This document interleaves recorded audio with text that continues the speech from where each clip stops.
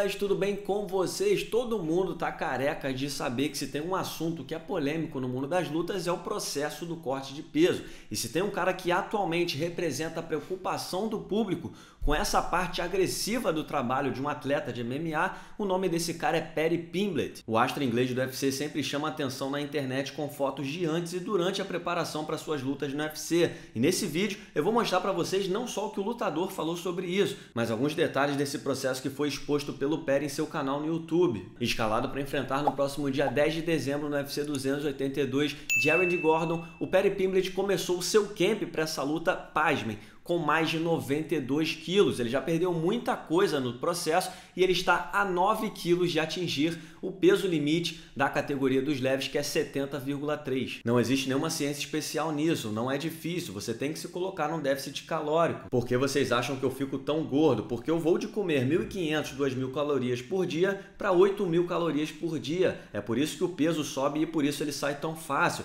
Meu último camp foi um dos piores da minha vida. Quando eu voltei dos Estados Unidos, eu tinha mais 7 semanas para bater o peso. Eu tive 7 semanas para perder uns 20 quilos. Eu consegui. Hoje eu estou com uns 9 quilos para perder. Eu já perdi mais do que isso da noite para o dia. Eu já perdi 8,4 quilos da noite para o dia. Então eu consigo perder 9 quilos em 4 semanas. Ainda no vlog publicado em seu canal no YouTube, o Perry mostra suas refeições preferidas dentro de um limite de 1.700 calorias por dia. E até um bolo de proteína de chocolate o Perry consegue consumir durante o seu camp de preparação para uma luta no UFC. E embora assustador, é claro que o Perry tem conseguido êxito nesse processo de corte de peso até aqui. Ele nunca falhou dentro do UFC no processo de corte de peso. Mas é claro que se o lutador inglês continuar fazendo esse efeito sanfona, logo vão aparecer os danos à sua saúde, os danos ao seu físico. E o mais assustador é que em sua estreia no MMA, em 2012, em outubro de 2012, mais de 10 anos atrás, o Perry Pimblett atuou na categoria peso galo, até 61,2 quilos. E antes de chegar ao UFC,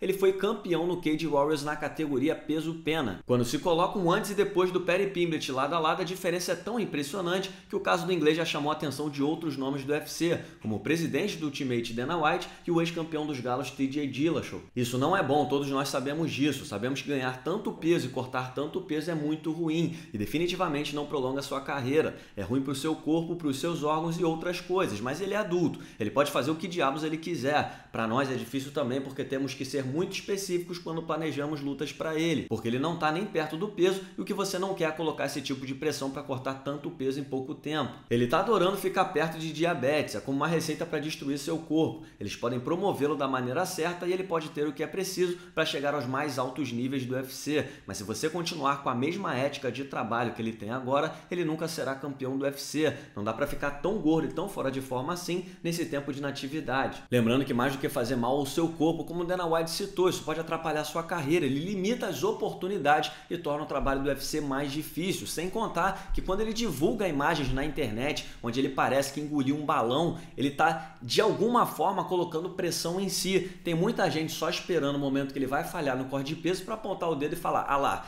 Tá comendo como se não houvesse amanhã, agora eu quero ver, agora vai pagar o preço. Mas enfim, eu quero saber a opinião de vocês. O que, é que vocês acham desse corte de peso agressivo do Perry Pimblett? É normal ou é pesado demais? Qual o palpite de vocês para o futuro do astro inglês dentro do UFC? Comenta aí.